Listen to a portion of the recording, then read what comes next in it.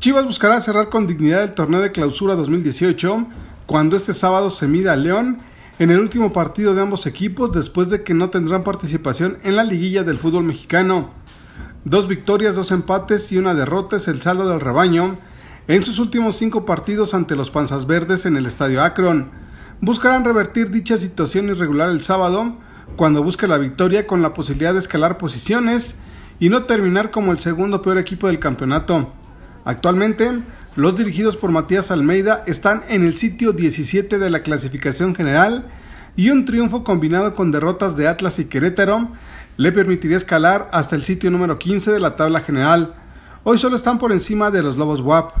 Alan Pulido aceptó que han sido dos torneos malos los que han tenido y la Conca Champions no borraron los resultados obtenidos después de que el rebaño conquistó el título de la Liga MX. Además, de lo complicado que ha sido la campaña ante la falta de pago de primas económicas que les debe la directiva. Porque si bien no se han dado, por ejemplo, no se dio el mejor torneo también, ¿no? Tenemos por ahí dos torneos, no hay que dejarlos tampoco atrás, ¿no? Tenemos dos torneos malos que, se han hecho aquí en la Liga Mexicana, pero bueno, siempre nosotros nos mantuvimos unidos, eh, no, nos, no nos descarrilamos eh, dentro de todas las malas críticas, de los malos comentarios que mucha gente no cree en nosotros. Nosotros siempre eh, hemos estado agrupados con, con esa hermandad que nos, que nos, caracteriza este equipo ¿no? y, todo el Matías y su cuerpo técnico.